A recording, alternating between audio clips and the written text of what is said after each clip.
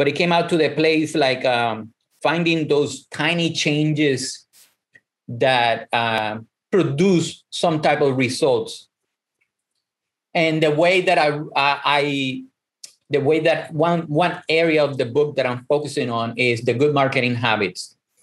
And inst- what I'm doing is not telling somebody you need to do this, like start on a diet or start budgeting, but mainly like do it's using something called habit stacking. It's grabbing something you are already doing and just adding one tiny t- step or one tiny change. Like uh, you're sending an email so can you now that you send an email can you change that email signature?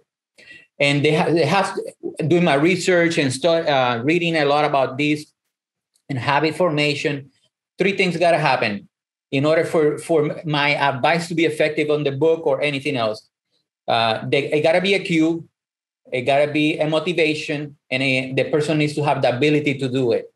So uh, the cue, like uh, a, anything, the cue, the trigger, what causes mm-hmm. the person to do that? You know, you're sending an email. Are you motivated? Well, I want to make more sales. I want to, you know, make have more registration.